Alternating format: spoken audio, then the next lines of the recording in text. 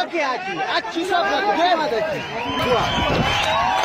ಇಪ್ಪೈದು ಸರಿಯಾದ ಸಚಿವನಿಗೆ ಹುಂಡಿಗೆ ಸರಿಗೆ ಇಪ್ಪೈದು ಸರಿಯಾದ ಸಚಿವ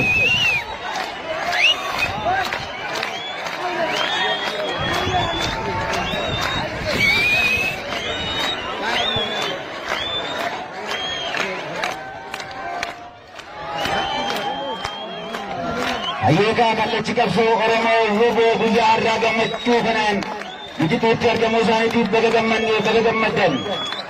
guyyaa kanaa geenye qeerroo! ፈጸም የጸጥታ ችግር መፍጠሩን አቶ ታዬ ተናግረዋል። የኛ አመራር ከሰላሳ በላይ አመራር በዚህ ቡድን ተገሏል። ብዙ ችግሮች እየተፈጠሩ ዝም ብለን ለረጅም ጊዜ ቆይተናል። ችግር እየተፈጠረ ህዝብ እየተገደለ መንገድ እየተዘጋ ህዝባችን እንዲፈናቀል ምክንያት ሆኖ ሲሰሩ በነበረበት ህዝባችንን እንዳንታደግ መንገድ ሲዘጉ በነበረበት ሁሉ ዝም ብለን ነበረ። ባንክ እየተዘረፈ ነው። ችግር እየበዛ ነው በየዕለቱ። አንደኛ በአንድ በኩል መንግስት የህግ የበላይነት ለምን አያስከብርም የሚል ከህዝብ በኩል እየቀረበ ያለ ጥያቄ አለ። ትጥቅ መፍታትና ታጣቂዎችን ወደ ካምፕ ስለማስገባትም የኦነግ አመራሮች አዲስ አበባ በገቡ በአጭር ጊዜ ውስጥ በተለያዩ የኦሮሚያ ክልል የሚገኙ ታጣቂዎችን ወደ ካምፕ ለማስገባት ስምምነት ላይ ቢደረስም ኦነግ ቃሉን ካለመጠበቁም በላይ ሌሎች ታጣቂዎችን እስከ ማሰልጠን መድረሱም በመግለጫው ተነስቷል። በ15 ቀን ውስጥ እናስገባለን ሰራዊት ብለዋል። ከዛ ጊዜም የጋራ ኮሚቴ ተቋቁሞ እንዲገቡ ጥረት ተደርገው በተለያየ ከሶስትና አራት ጊዜ በላይ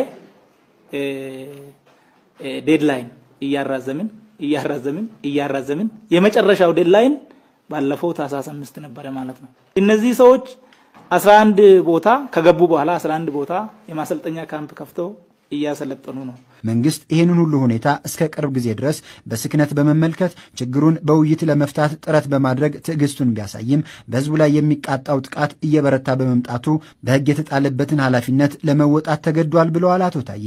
መንግስት የለም ወይ መኖር አልቻልንም፣ መውጣት አልቻልንም፣ መነገድ አልቻልንም የሚል የህዝብ ቅሬታ ስለቀረበ መንግስት ማድረግ የሚችለው ሰላማዊ ውይይቱን አሁንም ይቀጥላል።